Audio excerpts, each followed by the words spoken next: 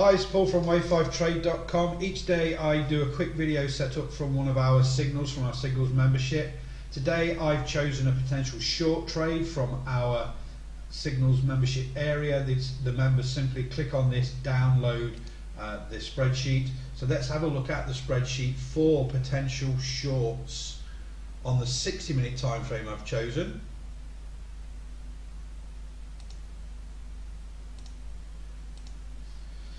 So here you see these are the results for today, for the 8th of February for the shorts on the 60 minute time frame. There's a hell of a lot more long setting up for the daily time frame, but I've just chosen a short as an example to show it on a, on a smaller time frame. So let's have a look at the chart. Okay, so I've chosen PFF off the 60 minute time frame for the potential shorts for today. It's an ETF. I uh, just wanted to do a little bit of uh, something different rather than just a stock here.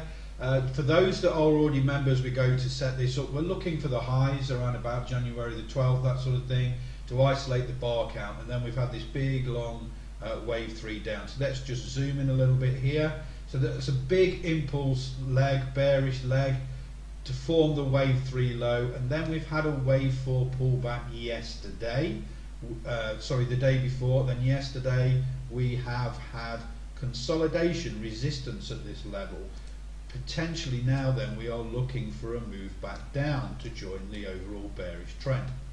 So one of the things that I, our signal service do uh, provide with the filters, we get those that are early on, so we get the ones with the 535 oscillator that's pulled back already, the stochastics uh, crossing over in this case because it's a short in the overbought zone.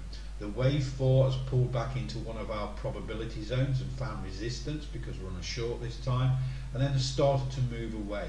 So let's have a quick look at the entry strategy for this. We have a 6-4 moving average low here which is on our indicator suite, Elliott Wave indicator suite for Ninja Trader. I'm using this for this example but it is available for TradeStation, Thinkorswim and multi-charts. So I've gone for the entry outside of the 6-4 moving average low for the first hour's candle position for today and below the whole $37 mark here. So 36.95 entry.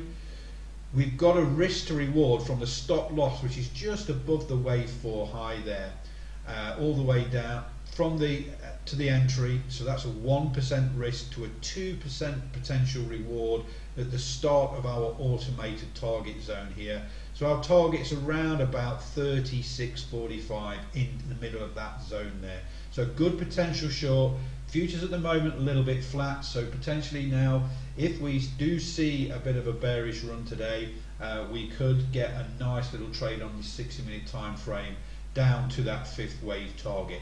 So that's it for today. Have a great training day and I'll speak to you all tomorrow.